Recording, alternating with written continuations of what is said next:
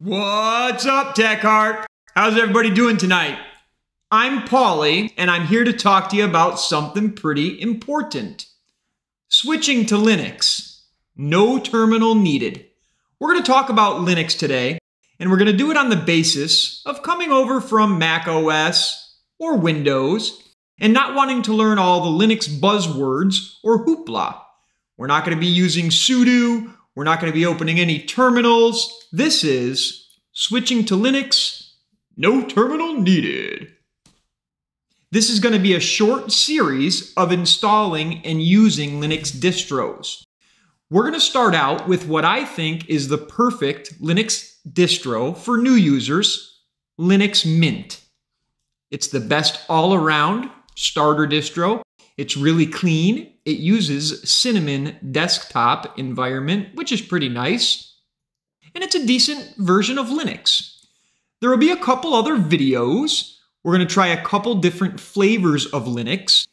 In the next video, we'll do a dual booting Windows and Linux so that if you want to keep your Windows installation, you'll learn how to do so. And we're going to end with Arch Linux or an Arch flavor. Because again, we're not using any terminals and we're not going to learn about sudo today.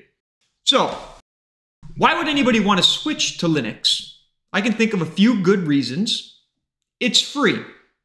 There's no license, there's no fees, Linux is free. It's more secure.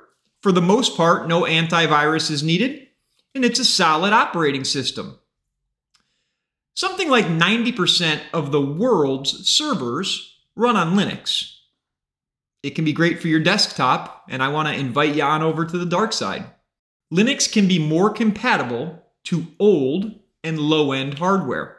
You got an old ThinkPad from 2010, you can throw Linux Mint on it and it'll probably run pretty good. Also, Linux can be for bleeding edge hardware. You can have your newest laptop. Linux will work for your hardware and it will perform better on your old hardware. Linux is very customizable from the desktop to software to the distro you use and more. There are no boundaries with Linux. If you don't like how the panel looks, change it. With Linux, you can build whatever you want. Updates are hassle-free. While you have to update your system from time to time, you'll never get stuck at the wrong moment being forced to update. Most updates don't require a reboot, and updating is just a lot easier on Linux. So we're going to use Mint today. Let's pull up the Mint website. Here we go. Let's read about Linux Mint. The latest version of the friendly operating system is here. Install it on your computer today. All right, Linux Mint 21.3. It's nicknamed Virginia. So we'll click the download button and this will pull up your options. You'll see three different options here, Cinnamon, Mate Edition, or XFCE Edition. These are different desktop environments. XFCE is the most light if you are installing to an old computer. Might be a good choice. Mate's a little more basic than Cinnamon, uh, but Cinnamon is a sleek, modern, innovative desktop environment. It's the most popular version of Linux Mint, and Cinnamon is primarily developed for and by Linux Mint. These are the three basic ones. Let's scroll down a little more. This says Cinnamon Edition Edge, support for the most modern hardware. We're going to use this today. I'm actually installing on a ThinkPad. However, I think it's nice to show if you have GPUs or more bleeding edge hardware, you'll want to grab Cinnamon Edition Edge. So just click on the download button and let that finish. After your download is complete, we're going to get Balena Etcher, a software that lets us burn that ISO file to a USB stick. So you'll go to the Balena Etcher website and you can just click Download Etcher. Now all you do is choose what platform you're on. If you're on Windows, you could grab the portable installer. That way you don't have to install it. If you're on Mac OS, you grab the Mac OS version. I think you have to click the icon, but it's pretty easy. And if you're on Linux, you can grab an AppImage, which you can just click to run. So after you download Balena Etcher, let me open up the software. Now we can click here, Flash from File, and you'll go in and you'll select your Linux Mint Edge .iso that we just downloaded. And then we'll have to select a USB stick target. So insert your USB stick into whatever computer you're using to make this media and select it here. Make sure that this is your USB stick. If you pick your main hard drive, it will overwrite it. so make sure that you pick your USB stick. I know that mine's a Pony 31 gigabytes and click select. And the last thing to do is click flash and enter a password. Now you'll just let Balena do its thing It'll take a couple minutes, but when that's done, we can get to installing Linux Mint for the first time. As stated earlier, we'll be doing a Windows and Linux dual boot installation on the next video. Tonight we're going to install Linux Mint as if we wanted it to completely take over whatever computer we're installing it to. Uh, whatever hard drive we use is going to be completely rewritten and we're going to have Linux Mint. So I'm going to let that bad boy finish up and I'll catch you when we're rebooting into that USB stick. All right. All right, as that finishes up, go ahead and take a sip.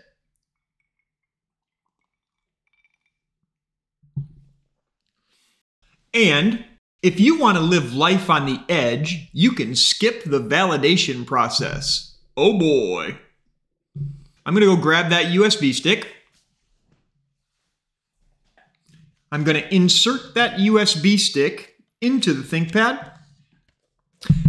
And I'll catch up with y'all right over here. Let's go! So we've decided on Linux Mint. We've downloaded the Cinnamon Edition Edge ISO, the image that ships with a newer kernel to be able to support the latest hardware chipsets. Our USB is inserted in our computer and we have to boot now. You'll have to find the BIOS button for your computer. We're on a ThinkPad, which makes it really easy. Let me press the power button. You can see on screen, I have to press enter. Sometimes these buttons are F10, F1, enter, and you can do a Google search to find yours. Now I'll press F12 to choose a temporary startup device. What this allows us to do is pick the USB stick that we have inserted into the computer. Mine's the Pony USB, so once I select this, it'll start booting into Linux Mint installer. Let's go for it. Select the first option, and this will get us booted into the Linux Mint installer. Pretty exciting, right? Okay, and just like that, we're in Linux Mint. Before we start the installation, we should connect to Wi-Fi if you're not connected to your Ethernet. So I'll select my Wi-Fi and enter a password. Do the same so that you have internet access. There we go. Connection established. And now you'll see the only icon on screen is install Linux Mint. Easy enough, right? Linux Mint is almost easier to install than Windows. And I'll take you through the steps. First of all, select your language. Mine's English, so I'll click continue. And then select your keyboard layouts. Again, mine's English, so I can just select continue. This page says multimedia codecs, and it's unchecked, but we want to select install multimedia codecs. Multimedia codecs are required to play some video formats and to properly render some websites. Think YouTube, Netflix, etc. Then you can click continue, and now we have to decide which type of installation do we want. The first option is erase disk and install Linux Mint. This will completely erase your hard drive. It's what I'm going to choose. However, if you had Windows installed on your system and you wanted to do a dual boot, there would be another option here allowing you to do so. As long as you're okay with completely erasing the disk, all you have to do is select the first option and click install now. It's going to warn us that we are writing to disk now. I'll select continue. Now it wants to know our locale information. I'm in Los Angeles, so this is just fine for me. Select where you are in the world and click continue. Finally, we have to give some user information. For me, it's just TechHeart, and I'll use that same username. For the computer name, you can name it anything you like, I'm going to name mine Mint dash the model number of computer that's in here. ThinkPad T480. Then make sure you enter a password and verify it. You could select login automatically, which when you boot the computer, you wouldn't have to type your password. However, we want a password, so we'll leave require my password to log in. If you need to encrypt your home folder, you could do so here. Let's click continue. And listen, that's going to be it. Now just let the Linux Mint installer run through, and I'll catch you on the flip side. That was stinking easy, right? Oh yeah, daddy-o. Go, go, go, go, go, go, go,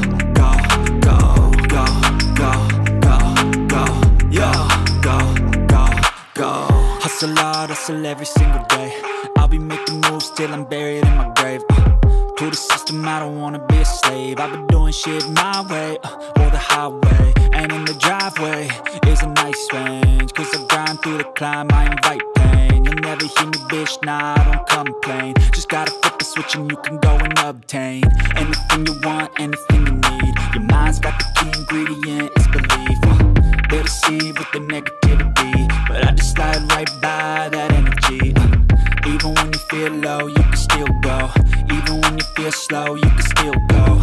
Even when there's no hope, you can still go. I never ran, no, man, I still go. After you've ran through the entire installation, we're done. How simple was that? Linux is easier, in my opinion, to install than any other operating system. Sure, there are some distros that are more in depth than this, but Linux Mint makes it super easy. So now, all that's left to do is either continue testing on the live USB or restart now. Let's check out the installation. So we'll click restart now. Boom!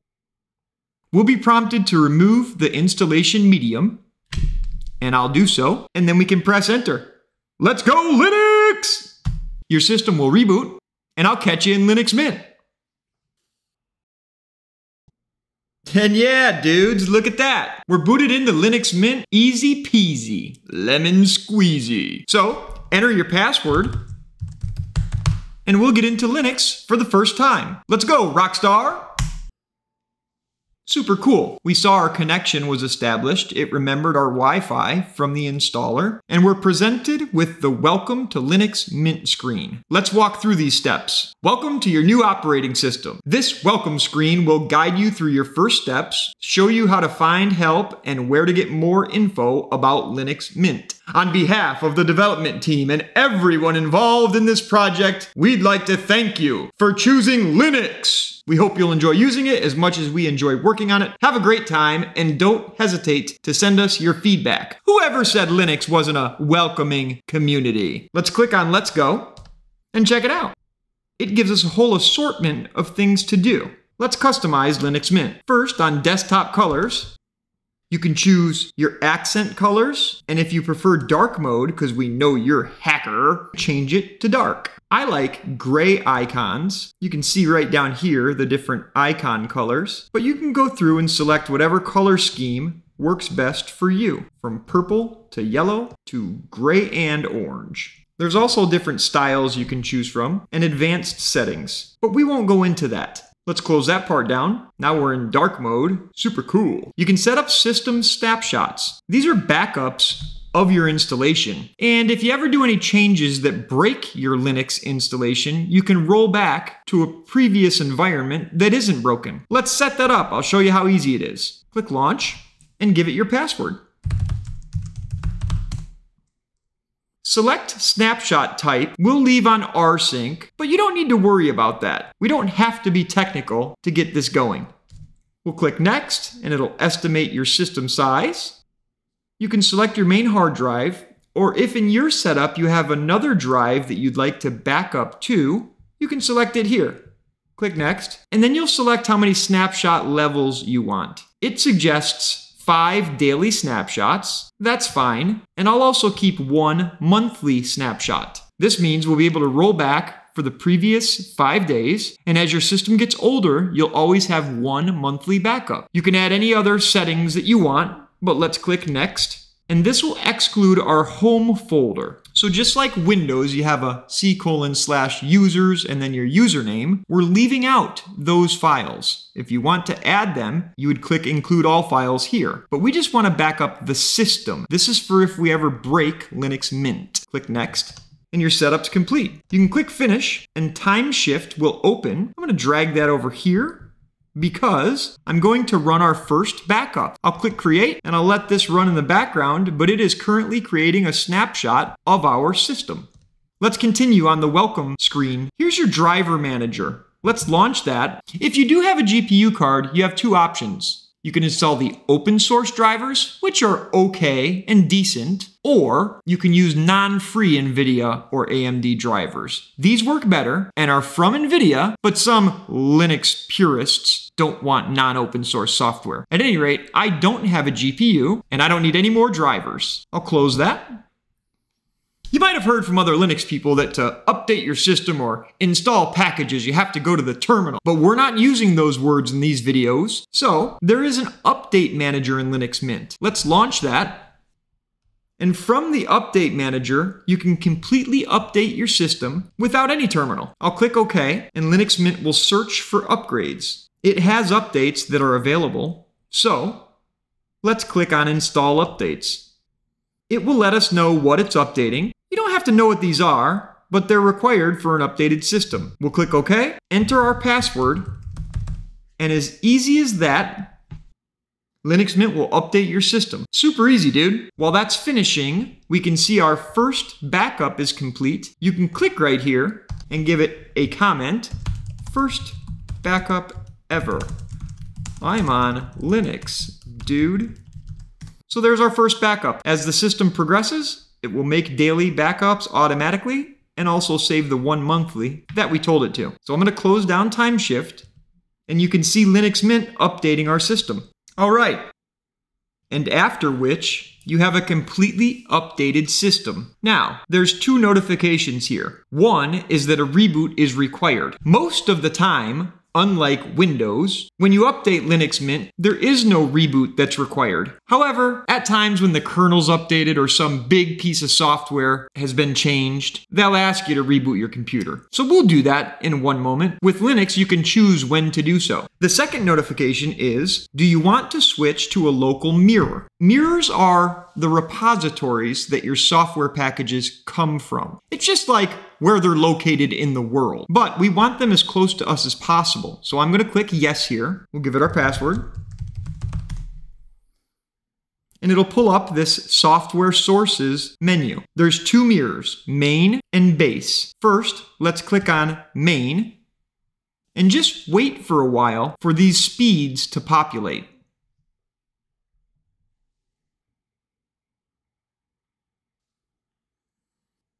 Okay, easy enough. I'll pick the mirror that's fastest for me. So I'll select the first option and click Apply. It says your configuration changed. I'll press OK. That'll update our package manager. And I'll move to the next source and do the same. Let the speeds populate. Choose the fastest one and click Apply. Then update your cache again. That's it. You can close down software sources and we can close down Update Manager. Now it wanted me to reboot, so I'm going to do so, but with the magic of video editing, I'll catch you right back here.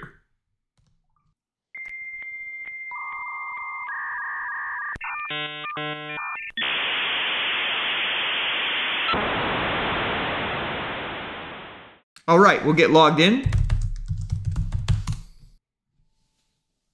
And now we can continue.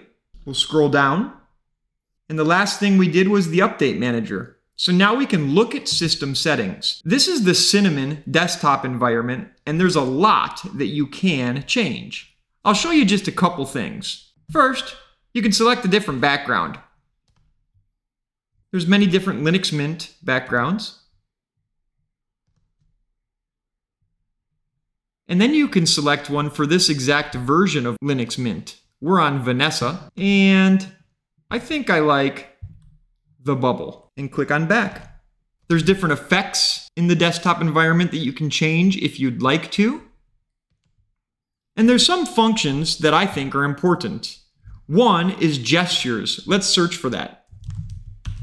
Okay, we can click on gestures. And if we enable this, now when we swipe left or right with three fingers, we'll move workspaces. If we swipe up with three fingers, we'll see all of our workspaces. And if we swipe down with three fingers, we'll see all of the open windows. Pretty cool, right? There's many other things that you can do. You can add applets, extensions, make changes to your desktop. It gets pretty cool. So we'll leave it at that for now. The next is Software Manager and Firewall. Let's do Firewall first. Enter our password. And you can simply turn the status to on and you're protected. It'll deny all incoming and allow all outgoing. You can set up different rules if needed, but if you'd prefer to live life on the edge, you can disable the firewall. I'm not that hardcore, so I'll leave it on. Now, the last thing in the welcome screen is Software Manager. This is just like your Microsoft Store or your Mac App Store. There we go. It looks really nice. It shows suggested softwares, categories, top rated, and you can search up top. Now, some of you guys are gamers and are coming to Linux but still want to experience your games. We can still do so. First, let's search for Steam. Linux Mint does come with one caveat or thing that you need to know about software packages. Notice that there's two Steams. The FlatHub icon indicates that these are Flatpak packages. Non-FlatHub installations are from the Linux Mint repositories, whereas Flatpaks are softwares that are packaged in a way that all of their dependencies are in that installation. So, what I suggest to new users to Linux is if there's a FlatHub installation available for the software you're installing, try it first. As long as it works perfectly, that's a better way of installing because it has every dependency needed all packaged up in that Flatpak. If you have any issues with that software, you can revert to the Linux Mint repository. Let's install Steam and we'll select the FlatHub version or the Flatpak. Just click install Choose continue. And in just about a minute, Steam will be installed. You can launch it from right here. I'm going to swipe over to a different workspace and press the Windows key, and I'll search for Steam, and I can launch it. You didn't think it was that easy, did you? So there's Steam. I'm going to close that. And back in our software manager, we can push the back button. Now, the other softwares that you might need to install AAA titles, or games that are not supported on Linux through Steam, are Wine, which is a Windows API that allows you to install Windows applications on Linux, and another one called Lutris. Lutris is a video game preservation platform. It's a helper that allows you to install Windows games within a menu, like GOG or Rockstar Games, or titles that you just have to install by themselves. I believe Lutris automatically installs Wine, so let's select the Lutris FlatHub version and click Install. We'll select Continue and give it a minute. Okay, let's swipe over to Workspace 2, and we'll use the Window key to search for Lutris. You can see that you can press the plus button and search the Lutris website for installers, import previously installed Lutris games, install a Windows game from an executable, install from a local install script, or import a ROM. Lutris will help you add titles that are not available through Steam. Nice! Now let's go back and search for Wine in the Software Manager we can see three versions of wine available. One is a FlatHub, which I previously told you you should use first. However, its version is 3.0. Then there's a version 3.4 and a version 4.0. In this instance, we'll install version 4.0 as it's the newest wine version available. Let's install it. Needs a password this time. With that done, you have Wine installed. Wine is the underlying application that Lutris will use when needed. Let's install some other software packages that you might enjoy. There's GIMP. It's a graphics editor like Adobe Photoshop. VS Code.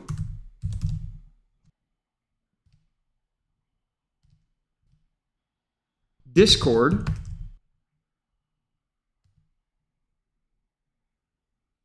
OBS and a myriad of other packages and software titles that you might want to install. Linux is awesome, and they have an app store just like other operating systems. You don't have to live in a terminal or know what a sudo is. Now we can look around the system a little more since we're done with the welcome screen. Let's go!